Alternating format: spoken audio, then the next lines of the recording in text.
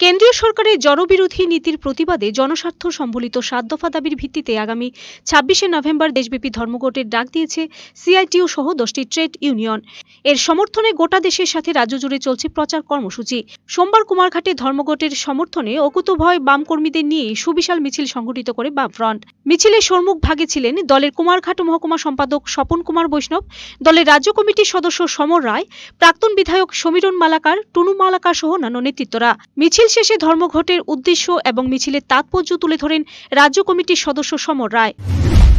মুখে আত্মনির্ভর ভারত, অথচ স্বনির্ভর অর্থনীতির ভিত্তি রাষ্ট্রায়ত্ত ক্ষেত্রগুলিকে যেভাবে নির্বিচারে বিক্রি করে দেওয়া হচ্ছে তার প্রতিবাদে এবং বিশেষ করে আপনারা জানেন, দেশের কৃষিক্ষেত্রকে কর্পোরেটদের অবাধ এবং অনিয়ন্ত্রিত বিচরণ ক্ষেত্রে পরিণত করার লক্ষ্যে যে আইন তৈরি হয়েছে, সেই দানবী আইনের বিরুদ্ধে এবং জনজীবনের দফা গুরুত্বপূর্ণ দাবি আদায়ে ছাব্বিশে নভেম্বর দেশব্যাপী ঐতিহাসিক উনিশতম সর্বভারতীয় ধর্ম bureau report search India TNN